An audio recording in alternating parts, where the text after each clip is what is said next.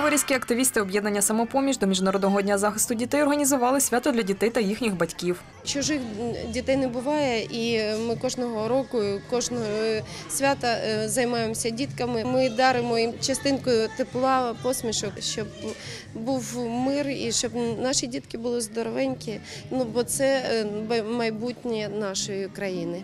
Майданчик біля розважального комплексу Святошин цей день перетворився на дитяче королівство. Для малечі тут організували перегляд мультфільмів, розваги на батуті, пригощали солодкою ватою, лимонадом і морозивом. А від програми за участі клоунів діти були просто у захваті. Нам здесь очень нравится. И лимонад, и сладкая вата, все так вкусно было. Больше понравилась вата. Активними учасниками заходу були й дорослі, які раділи не менше за своїх дітей. Мы здесь живем недалеко Мы Посмотрели, увидели, пришли на праздник с ребенком. Хорошо, весело. Ехали мимо, увидели.